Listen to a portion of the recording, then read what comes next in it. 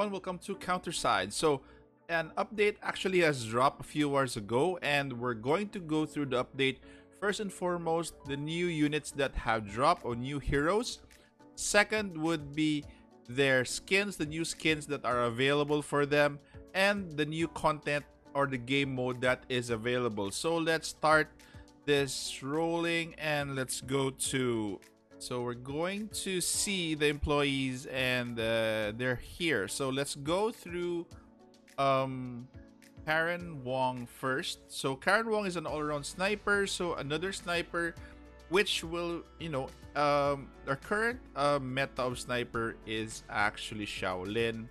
And it would be very hard to replace her. So let's take a look at a employee introduction for for Karin. So Karin is an all-around sniper who uses a special firearm designated for long-range interception to effectively attack enemies in the air and on the ground. So I think this is going to be AoE um, ground and air. Member of Delta 7 Internal Investigation Department, she was one of the last members to join the Incomplete Counter Training Project. Okay, let's move on to her stats. So for her stats, um, these are the her maximum stats. So combat power is actually 10,000, which is good. HP is 18, which is kinda in the mid. Attack is very good. Hit is actually very good as well. The rest of the stats are very fragile. Defense, crit hit is actually good as well.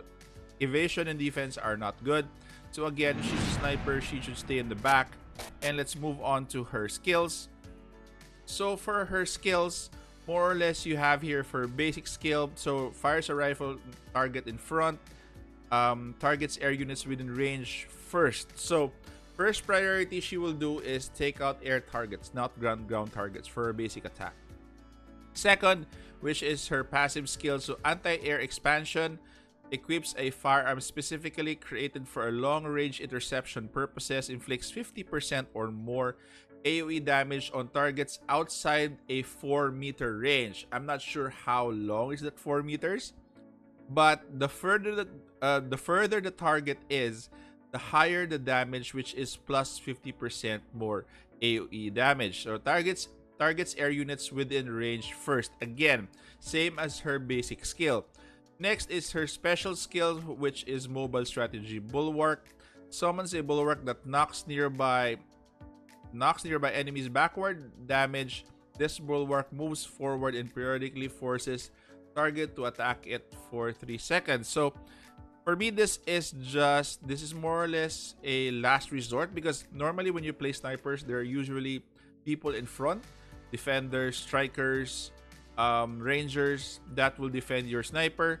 So more or less the skill tree is, I don't think this will be used that often because again by the time that your sniper is left usually you're already overwhelmed. So um, special skill is actually a bit questionable. Let's go to the ultimate skill.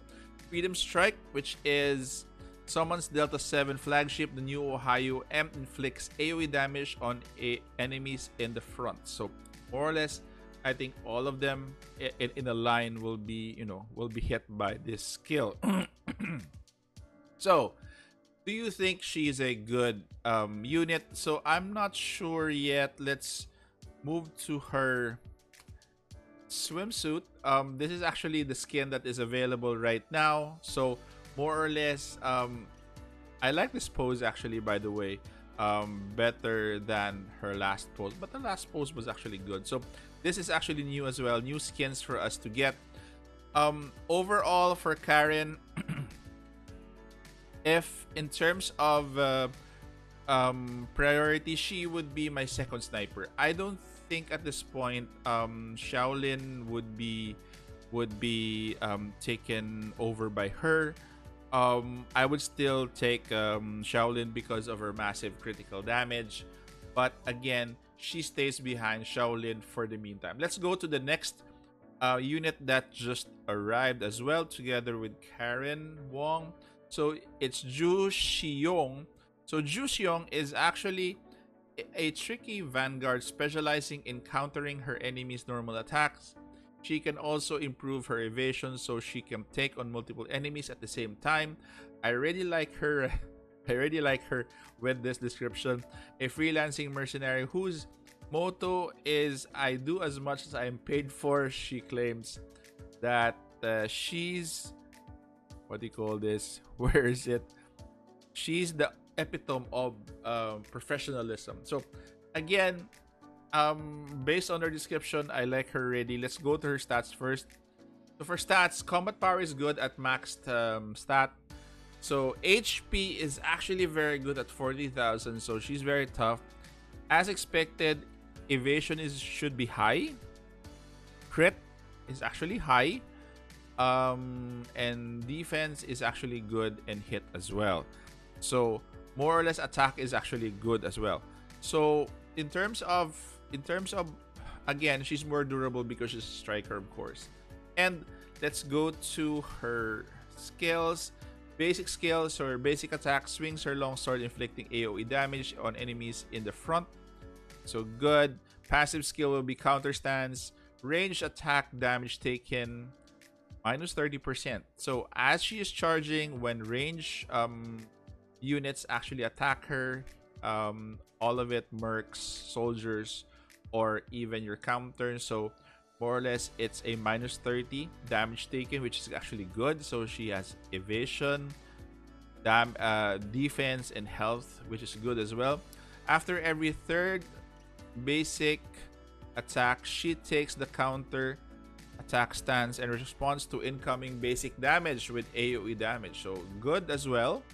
I think this she is actually viable in the meta because um we're really looking for um, a hero or a unit that is actually number one tanky enough evasive enough and has high damage. And plus right now she has counters so well it's a win-win so if she doesn't counter attack then increases her own evasion by 50% for 6 seconds so again it's a win-win um and uh, level 5 of this skill is counteract that Counter attack damage is plus 30. Non-counter attack buff also adds um, attack skill speed plus 30%, which is actually very good. Um, special skill, skill is Bite, so swings her longsword and levitates nearby enemies. She then follows and cuts at them with a dagger inflicting AoE damage, blinds the target for 4 seconds. This is actually... She actually has a lot of utility that I'm actually in love with her kit already. So, more or less, I have decided already in which um, new unit I should pull for, and I think it's going to be Joo Shin-Young. So, more or less, good skill, special skill. Then, her ultimate is forcefully stabs her longsword, inflicting AoE damage on enemies on front. Afterward, increasing attack and damage reduction by 20% for 12 seconds and stuns the enemy for 3 seconds. So again, a very good ultimate skill. Overall, her kit is actually wonderful and it fits the current meta right now for the Southeast Asian Open Beta. So let's take a look at her in her bikini. So this is actually her skin that has dropped as well. And these skins actually, by the way, will be found here. Let's go to the shop. So skin here, but the currency is admin coin. So you'll have to spend for you to get them um, if you want to get their skins. So more or less, guys, uh, this is going to be selling a lot as well. So those are my you know thoughts about the heroes or the units that have dropped their skins, their skills, and I think who you should pick in terms if you want to choose who to summon for. I think it's Joo Shin Young. Um, Karin Wong would be your secondary sniper behind Xiao Lin for your snipers. Okay, let's go to the new content that has dropped for the game. We have here um, event. So you can see here at the bottom, after free contracts, so new tab is added. So this is actually the new content, Crossroads, Pathfinder. I'll actually do this today and give you guys an idea on how to farm um, the best stages for this one and the best um, the best way to get this um, what's the currency the currency for the stage is this one. So you have Crossroad Gemstone, dark red material, which can be used in the shop, and more or less in terms of the shop. Let's go back to the shop. It sh it should be around here. Shop list, season, then event, currency exchange. So for the shop, more or less, there are a lot of good goodies here. Obviously, the T5 gear is actually very good. You need to get these. Um, these are more or less what you need on a daily basis. So you grind this stage as often as you can. So employment contract is here. So purchase 10 out of 10. Um, I'm not sure if this these refreshes or if you purchase one then it goes you know it it, it it's removed already. I think that's the scenario. So more or less good you have prime training data which is actually very important that we're needing. You have t5 gear you have apt cores and you have employment contracts s8 apt cores and actually the, the good stuff are here. So again crossroads would be a very good stage to mine for um, more or less I think you guys will have to um, exert more effort here in terms of in, in terms of doing this. So you can see here your crossroads mission. So just complete just by logging in. So I already got 50 so more or less again there's th these are additional rewards for you to get. So you have here employment contract as well. And this is what I actually am looking for the prime training data because I'm trying to upgrade skills for my units. And more or less that is it guys. Great event. Um actually great start for for counterside uh releasing a new update after their their what they call this? Their their um, release for Southeast Asia. So this is their first update and very good, very good characters. Um, let it, I'll be I'll be pulling for so I forgot her name. Sorry.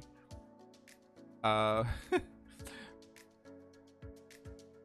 for this chick, I'm going to pull for her. So so something young.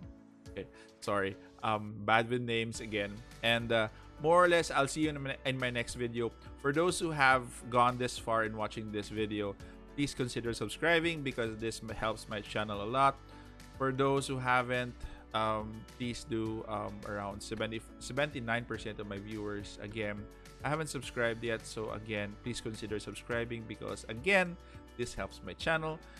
Also guys, stay safe, take care. This is the Warden and I'm out of here.